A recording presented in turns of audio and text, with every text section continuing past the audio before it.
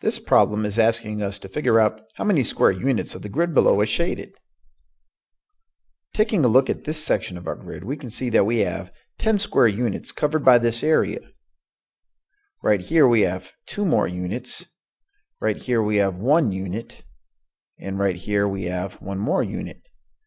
So we're going to add all of those square units together and see how many we have so far. Well, in this section right here, we have 10. And in this section right here, we have 2.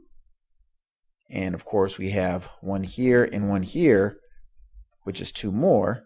So that gives us a total of 14 whole square units. But notice we have half square units that we have to put together. If we combine this half of a square unit with this half of a square unit, that gives us one more whole square unit.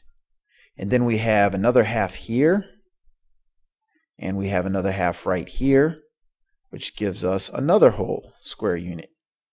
And we have half of a square unit left over. So I'm going to write one half right here. When adding 1 plus 1 plus a half, that gives us a total of 2 and a half square units. Now we have to add 14 plus 2 and a half, and that gives us a total of 16 and a half square units. So we would say the area that is covered by the shaded portion is 16 and a half square units.